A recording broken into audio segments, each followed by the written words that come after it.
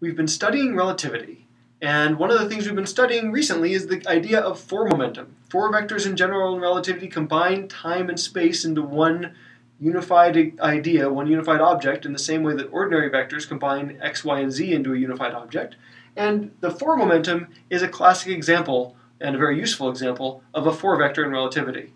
So in the four momentum, as we've seen in class, uh, you can see the four momentum, I'm, I'm giving it a capital P uh, label with a little serif to make it noticeable. The four momentum is four components. The top component can be interpreted as the energy. Technically, it's energy divided by the speed of light c, but uh, in our class, we've been treating the speed of light as the number one in the idea that we're measuring distances in seconds and times in seconds, something like that, to keeping things straightforward that way. So uh, whenever you see a C here, you can assume that's just being replaced with the number 1, but I'm putting it in because it's kind of intuitive in uh, some of the four momentum places. So, all right, first component is E over C, or just the energy. Then the three components of relativistic momentum are the x, y, and z components. So that's time x, y, z for the four components of this four vector. That's not just momentum mv, though. Uh, it turns out that the energy, the relativistic energy, is gamma times m times c squared for energy. So gamma mc is E over c. And then for the other momentum components, gamma mv, gamma mvx, vy, vz, those are the components of momentum, and they combine to make the four momentum. One of the things that makes this a four vector is that the, com the combination of the time component squared minus the spatial components squared is invariant in any reference frame, in any coordinate system, any state of uh, uniform motion. So in particular, I can check that out. E squared, uh, and we, we can put that together, energy squared minus px squared minus py squared minus pz squared equals a constant, the mass of the object squared. And you can check that out if you just plug in the definition of gamma and all that. Oh, you can prove this is right. We're going to use this fact in a few minutes to in an example. And the way you usually see this written down is total energy squared equals p squared plus m squared. And if we put that in, with we put in the vectors of c, that's energy squared equals pc squared, that's energy of motion, plus mc squared squared. Hey, E equals mc squared. Rest energy is the mass energy, mc squared of the object. So, okay, we're going to use these things that we've studied before in studying a particular example. I have a four momentum, and remember, uh, in our in our frame, in our in our uh, definitions, we're taking c equal to one. Uh, so our four momentum is measured in kilograms, just like mass and energy are also measured in kilograms in these special relativistic units. So I have a particular four momentum, just 29 kilograms, 11 kilograms, minus 8 kilograms, 16 kilograms as my four components, and I want to know, what is the velocity of this particle? Given this four momentum, can I figure out the velocity from that? Ordinary three-dimensional velocity. What's its speed? What's its mass? And what is its kinetic energy? The last one's the trickiest of them, but we'll go through and figure these out. So, how do I do these things? Well, step one, I can peer at these uh, components and say, if I want to find the x component of velocity, say, if I want to find vx, then I just compare these two things. Vx is what I get when I divide the x component of my four momentum by the t component. That'll cancel out the gamma m, and I'll get Vx. Technically, I get Vx over c, the fraction of the speed of light, but for us, we're taking speed of light to be 1, so that's our Vx.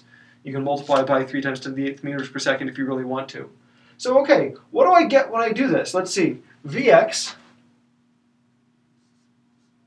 equals, okay, I want to do, uh, as I said, I want to take the, uh, take the ratio. I want to take the x component divided by the t component, so that is px over pt.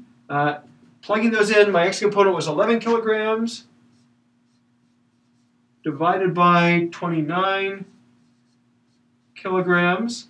Okay, 11 over 29, I can plug that into a calculator. I already did that. I get about 0.379. And again, ostensibly that's 0.379 times the speed of light, but our speed of light is one more unit. So okay, the x, I can do the same thing for the others. Vy equals Py over Pt for the four momentum components, and that's minus 8 kilograms over 29 kilograms, which comes out to be roughly uh, 0.276 in the negative y direction.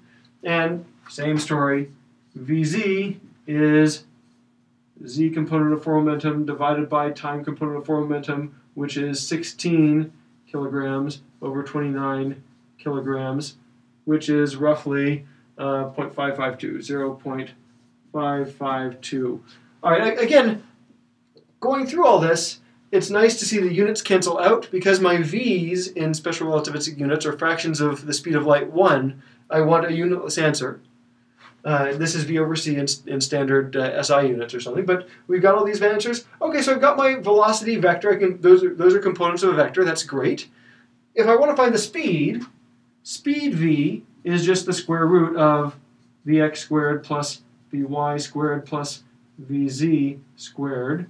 Um, that square root, I, I, I, can try to do it analytically. They're all the same denominator, uh, and it's squared, squared. So this is going to be 1 29th, I know the kilograms cancel along the way. 1 29th times the square root of 11 squared plus minus 8 squared plus 16 squared, right? And the minus 8 squared is just positive 64. We could work all this out, but it turns out uh, if you plug this in, it turns out that this is exactly 21 over 29. That sum, 11 squared plus 64 plus 16 squared, which I should know off the top of my head, but don't. Is that Joel? Yeah, it's probably 256. So if you add those together, you get exactly 21 squared, 441. It's kind of cool that it works out that way. So we get this, and our, our final speed then is about 21 over 29 is roughly 0.724. So nearly three quarters of the speed of light at some funny angle. Great, so I've answered those two questions. What about the mass? How do I find the mass based on the four momentum? This is just taking four momentum information and finding out things about my system, specific things. Well, hey, I've got an equation here that tells me m squared. I can say that m squared equals total energy squared minus total momentum squared. Well, okay, that means that's 29 kilograms squared minus and that p squared is just px squared plus py squared plus pz squared. Well, hey, we just did 11 squared plus minus 8 squared plus 16 squared. It got 21 squared. So this is 29 minus 21 kilograms squared. And if you work that out, that is, let's see, 841 kilograms squared is 29 squared. And I subtract off 441 kilograms squared. That is 400 square kilograms. 400, I can do that one in my head. That means that my mass is 20 kilograms. So again, I, by some miracle, almost if I chose it this way, I've got a nice round number for my m, a nice, uh, nice integer for my m. But the point is, I can find the mass by doing e squared minus p squared. That's my classic four momentum, energy momentum relationship in relativity applied to this case. So, and you can put in factors of c squared all you want. Um, you just multiply by c squared to go into uh, standard SI units and find this in joules. I guess mass in kilograms is fine. But um, so finally, the last thing that I asked was kinetic energy what is kinetic energy anyway? Kinetic energy is energy of motion. It's the energy you have by virtue of moving.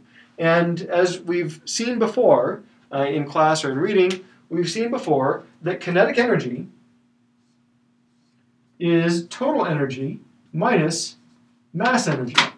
I guess I could say E minus mc squared, because mc squared is so recognizable. I want to put in that SI factor just to remind you of it energy minus mc squared. If I'm at rest, if I have no velocity, then I have no momentum, and my energy squared is just m squared. Energy equals mass if I'm at rest. So that is my rest energy, mc squared. E minus m is what I'm doing. Well, hey, I know those numbers. E is 29 kilograms, and my mass is 20, which gives me 9 kilograms. So this object moving nearly three quarters the speed of light that is 20 kilograms to start with, this 20 kilogram object moving close to three quarters of the speed of light ends up having an extra energy, energy of motion, of 9 kilograms, which is roughly, uh, let's see, if I put that into joules, if I convert that to joules by multiplying by c squared, that is 8.1 times 10 to the 17th joules.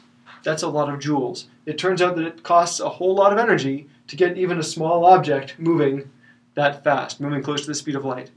So there we have it. We've learned a lot of things from just knowing the four momentum of this object. Knowing the four momentum was enough to figure out most of what you'd want to know. Four momentum is a powerful concept, and we've done some stuff with it.